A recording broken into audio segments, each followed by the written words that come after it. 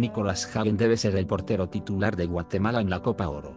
El guardameta guatemalteco hizo una gran actuación en el partido ante Guayana Francesa, salvando a Guatemala en dos ocasiones de dos disparos a quemarropa por parte de Guayana Francesa.